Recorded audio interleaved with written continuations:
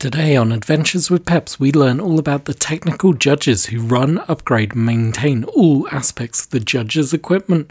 We are going to be painting the figure by Warlord Games, so I hope you join in, have fun, and if you learn something, make sure you like, subscribe, and send me some love.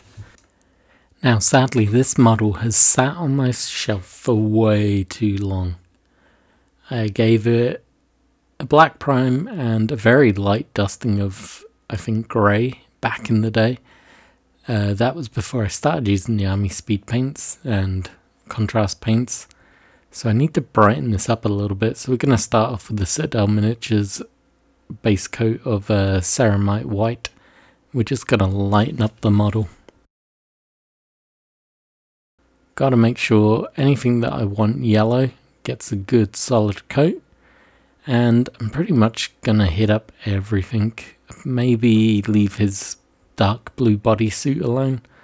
But anything that's going to be green and yellow, I need to make sure it gets a good white hit on it. Right, the final touches of white are now going down. As you can see, I haven't gone too heavy with the white, but we got a very good coverage on nearly everything. It goes a very light grey once it starts drying, but that should be good enough to get the brightness that I need on those areas. Up next is going to be Cloudburst Blue, the Army Painter Speed Paint. I am using this on the bodysuit. Now the tech judges are covered in technical gear as you could well imagine. So this is a little bit fiddly. I'm not using my usual shade brush on this model I've gone for a uh, finer point, still a cheap Citadel brush, but it has a finer point that's going to allow me to work my way around all the corners near this belt, around the badge. As you can see probably from this picture alone, he has a lot of gubbins. The knee pads, he's in also a quite uh, straight up pose which means there's this very thin gap between his knee pad and his boots. I just want to be careful on. Any bleed here is going to be pretty annoying to clean up. So I just want to get it right the first time. So I'm going to be a bit more patient than I normally am. Just take my time as I'm putting this paint on. It's absolutely no rush. So while I'm doing that, let's have a, a proper look at the tech judges. So they run, upgrade, and maintain all aspects of a judge's equipment. They are the inventors of most of the judge weapons and armor, and they build all mechanical gadgets and vehicles that the judges use. They can also be responsible for armor maintenance whenever a judge returns from a mission with bullets lodged in their armor. So yeah, they uh, there's always a squad in every sector house. They look after forensics. They deal with any of the mech units. They repair armor vehicles. They're pretty much well spread out throughout the Justice Department. The head of their department, which I'm not sure who it is currently in the current timeline, but they usually have a representative on the Council of Five. They are a pretty strong wing within the justice system. In game, you can either have a rookie tech judge or just a normal judge that is a tech judge, which means they're not going to have over the top killer stats. If you join me in the follow up video, which will hopefully be dropped the day after this one if you try and find it, we're going to make a 50 point Justice Department tech group. And it's a pretty small group. It's going to be this guy as a judge. We'll have a rookie tech judge, and then we'll also have one of the auxiliary robots. The Mark, I forget what it is. Hang on, I got notes here somewhere. Let me just find them. It is the mechanic. I can never say it, Mechanikizo Mark IIA, which is basically the model you get in the kit. It's not the model you get in the main rulebook, annoyingly. That is the Mark 1 that famously went a bit crazy and killed off people and Dredd tried to bury the program. These are the newer robots. They are a lot sleeker. I don't know why Warlord Games decided not to build the Mark 1. Instead, they built the Mark 2 and didn't put the rules in the rulebook. It's very confusing. Maybe if someone from Warlord is watching this video, they can let us know. But as you can see, I've pretty much worked my way around the body, body now.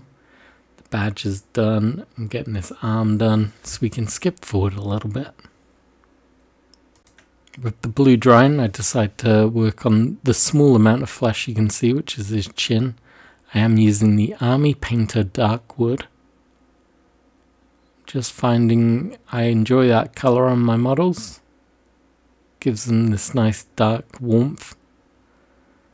It's a colour that you're not going to see much in a Dredd paint scheme as it is, as they rely on these brighter, brighter colours. So I find it helps make the model seem a lot more unique.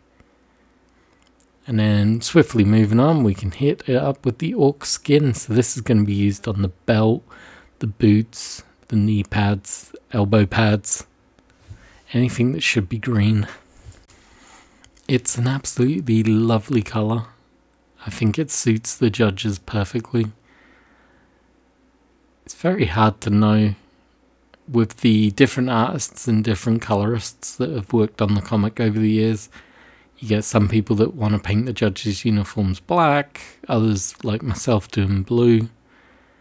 The greens can vary. Some people go for a proper dark military green, others go bright and bold, like I do. Some go into the lime green spectrum as well. And that's what I love. You can pretty much pick an artist that you enjoy and just copy their style and the way they go about it. For me, I am an 80s, early 90s Judge Dredd fan, so I always go for a dark blue. It's the way I imagine them looking, and then the SJS can be black. But I know a few people are a fan of the black uniforms, which was done by the Strontium dog artist Carlos he always favoured doing his judges in the all black uniform. But I find if you can separate the street judges from the SJS, it looks a lot more stylish and fitting for me. But that is just my version of the Dredd World. Everybody can do whatever they want. This is, after all, based on a comic, so you pick what makes you happy. We then have another quick step, which is the Runic Grey. I'm just using this for his controller in his hand.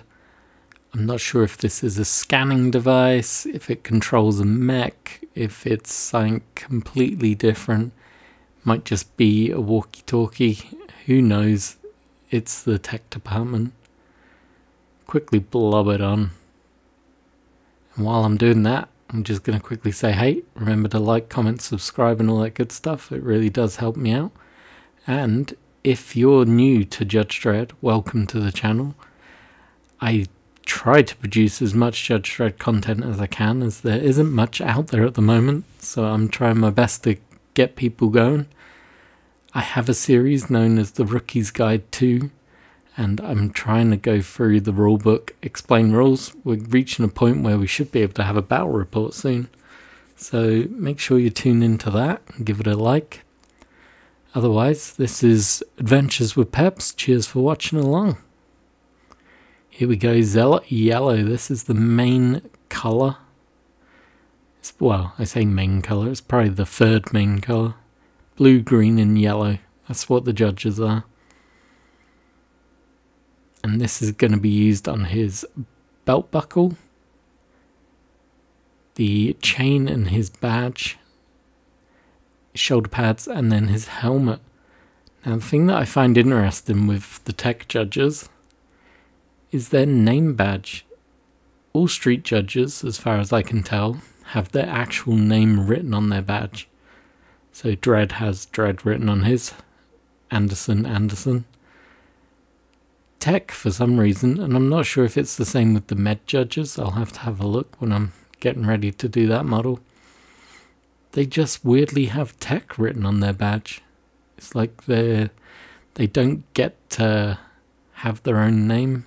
They have to be just tech. which is quite comical. Obviously, in the follow up video to this, one I'm creating the gang, you're going to learn their names that I'm going to call them in game. And I'll try and do a little description on each person's personality. Each person's personality, is that even a thing? Who knows? But I really like the, the model. The model itself is a joy to paint. It's got a lot of detail that this speed paint loves to grab onto. Not entirely sure my camera work and lighting helps show it off as well as it could. But as you can see, it just really picks those shadows up nicely. And the helmet on this is very unique. I might have to pick up another kit and transplant the head off this one onto a judge with a sniper rifle because it gives me sniper sniper vibes for some reason really am enjoying these models by Warlord Games. They've done a good job with them. Right, Blood Red is up now. And this is once again another quick job.